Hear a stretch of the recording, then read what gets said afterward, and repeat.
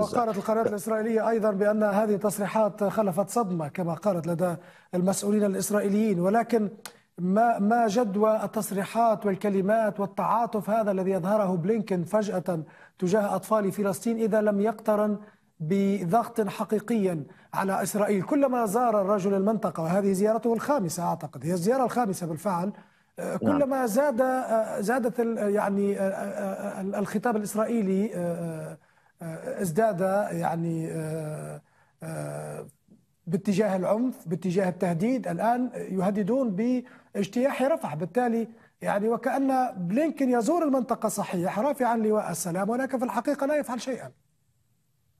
هو هنا يعني ربما ربما تكون تصريحاته مقدمة إلى إمكانية استخدام النفوذ الأمريكي في الضغط على نتنياهو، المعضلة الأمريكية أن لنتنياهو ليست مشكلة سياسية ما يحدث الآن ولا مشكلة أمنية بقدر ما هي مشكلة شخصية يخوض الحرب في قطاع غزة وهذا أشارت إليه استطلاعات الرأي في إسرائيل. أكثر من 50% من الإسرائيليين يرون أن نتنياهو يخوض الحرب لأسباب شخصية وهي متعلقة بمحاكمته المتواصلة وبالمحاسبة العسيرة التي ستنتظر ليس فقط نتنياهو بل كافة قادة المستويات الأمنية والعسكرية والسياسية في إسرائيل بعد إخفاق السابع من أكتوبر وما تبعه ذلك حتى الآن.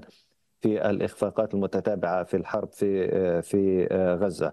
فهذا يضعف الموقف الأمريكي وربما قد يدفع في نقطة ما إلى استخدام الضغط الأمريكي عبر التلويح بربما وقف الدعم سواء العسكري أو المالي وحتى السياسي إذا ما ذهبت الأمور إلى قرارات في مجلس الأمن إذا رأت, رأت الإدارة الأمريكية أن نتنياهو لن يستجيب لجهود الوساطات ولا للموقف الأمريكي الذي يبحث عن تهدئة سريعة للموقف مع الانحياز طبعا الانحياز الأمريكي التام والجميع يدرك ذلك أن بلينكن في زيارته الأولى عندما قال هو أتى إلى إسرائيل بصفته يهوديا وليس نعم. بصفته وزيرا للخارجية م. الجميع يدرك ذلك لكن في الوقت نفسه الولايات المتحدة لديها مصالحها الخاصة والتي لديها مصالح ومخاوف من اتساع رقعة الصراع والمواجهة في المنطقة اليمن العراق الآن سوريا بهذه الضربات وغيرها وداخليا أيضا الضغط الداخلي مع اقتراب الانتخابات الأمريكية. يعني كانت هناك تكهنات عديدة حتى منذ أسابيع بأن الموقف الأمريكي مع كل هذه العوامل قد يتغير باتجاه مزيد من الضغط على إسرائيل ولكن حتى الآن هذا لم يحصل.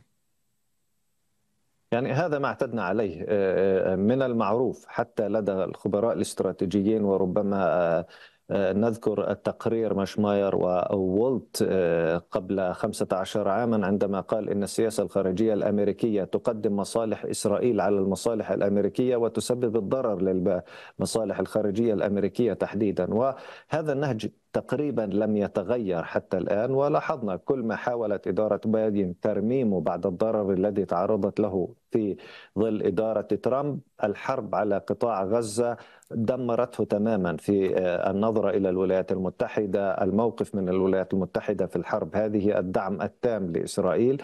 الآن يحاولون ربما ترميم بعض هذه الأضرار لكن التصعيد في المنطقة التصعيد في اليمن والعراق وسوريا وإمكانية حتى إدخال إسرائيل في مواجهة مع مصر. ولذلك رأينا اليوم بعض التصريحات التي تحاول من خلالها إسرائيل الطمأنة بأن العملية في رفح وتحديدا فيما يسمى محور فيلادلفيا لن تكون إلا بعد التنسيق مع مصر أو التوافق مع مصر عليها.